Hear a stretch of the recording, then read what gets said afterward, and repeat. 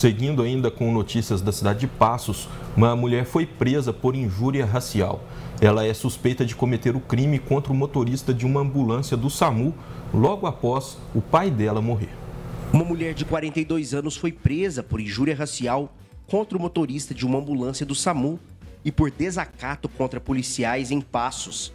Segundo a Polícia Militar, as ofensas aconteceram depois que o pai da suspeita teve uma parada cardiorrespiratória e morreu. Segundo o boletim de ocorrência, o SAMU foi acionado para o atendimento e os funcionários tentaram reanimar o paciente de 75 anos em parada cardiorrespiratória, mas o idoso não resistiu e morreu. Os plantonistas relataram que, enquanto faziam o atendimento, a filha do paciente tentava filmar e atrapalhar o trabalho. Por isso, então, eles acionaram a polícia.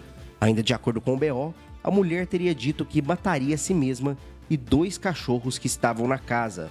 Diante do ocorrido, os policiais optaram por levar a mulher para receber atendimento na UPA, mas ela recusou e continuou com os xingamentos. Logo após, ela começou a agredir os funcionários do SAMU com chutes e socos.